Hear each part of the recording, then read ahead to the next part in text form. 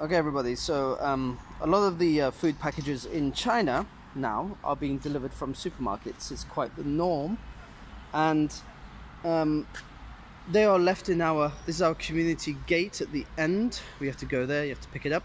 They won't bring it to your house anymore.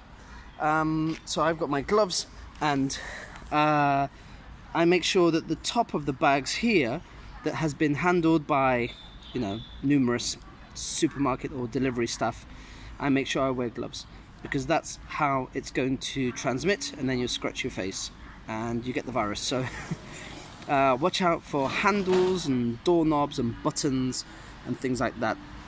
And also the same for the machine that you can see over here.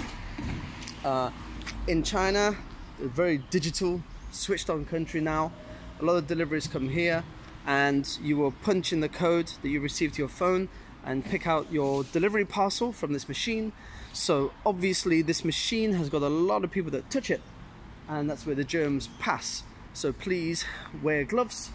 Uh, people wear gloves here all the time now uh, to avoid passing the contagion to yourself. So gloves are the key. So look out for, for things like that. That's a lot of shopping, isn't it? Really that's heavy.